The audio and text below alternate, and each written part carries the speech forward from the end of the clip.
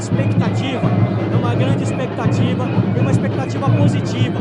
Nós temos um grande grupo político, nós temos um patrimônio do apoio do prefeito Igor Soares, que é de suma importância, é o prefeito mais bem avaliado da nossa região.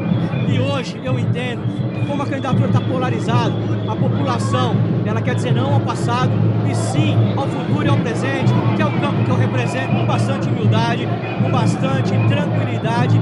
Nós vamos enfrentar 60 dias de campanha falando de proposta, falando da continuidade do nosso trabalho. E quando você fala qual será a minha prioridade, Igor preparou a cidade para que a minha prioridade seja dar continuidade nesse belíssimo trabalho que juntos nós fizemos pelo Itapevi.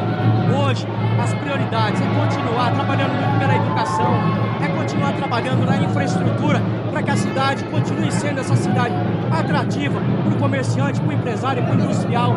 É continuar fazendo uma política séria, de respeito a todos. Essa é a minha maior prioridade. Me dedicar os próximos quatro anos da minha vida, como o Igor dedicou a vida dele a essa cidade nos últimos anos, dedicar.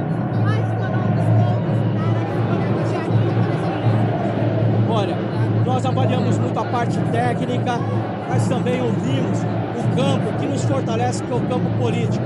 Tiaguinho tem uma história, uma vida muito bonita na cidade de Itapevi, é presidente da Câmara, representa a força política de onde eu e o Igor saímos, que é a Câmara Municipal.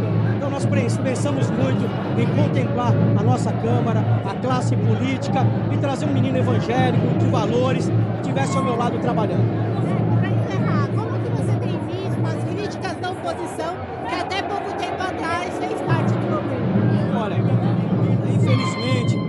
Deixa triste, porque eu e o Igor trabalhando, trabalhamos tanto para tirar Itapevi de um, de um cenário onde a cidade era desacreditada, onde as pessoas que moravam aqui tinham vergonha de dizer que moravam nessa cidade. Hoje, a região elogia Itapevi, não é que elogia o nosso trabalho, elogia a cidade, o crescimento dela, o respeito que nós temos.